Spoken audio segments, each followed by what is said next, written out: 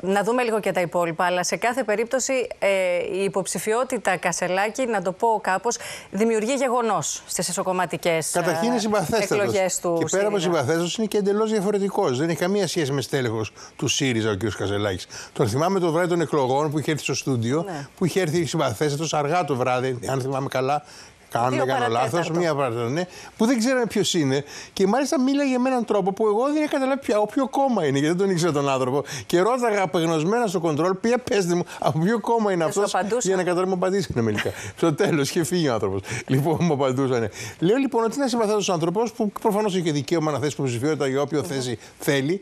Και μήπως έχουμε και άλλους που θα ακολουθήσουν. Γιατί αρχίζει πια και ανοίγει το παιχνίδι. Εκεί πέρα και αυτό και ενδιαφέρον. Τώρα αυτό, που, που λέει ο Γιάννης, συγγνώμη ναι. Ράνια, να ναι, το ναι. προσθέσω, φαίνεται δύσκολο σε αυτή τη φάση να υπάρξει νέα υποψηφιότητα γιατί ουσιαστικά υπάρχει μια μεγάλη αναδιάταξη της πίτας αυτή τη στιγμή. Οι υποψήφοι, οι τέσσερις ήδη, οι πληροφορίες μου λένε ότι ανακατανέμουν δυνάμεις και αναδιατάσσουν την στρατηγική τους μέχρι το συνέδριο που είναι η καταληκτική ημερομηνία το Σάββατο φυσικά.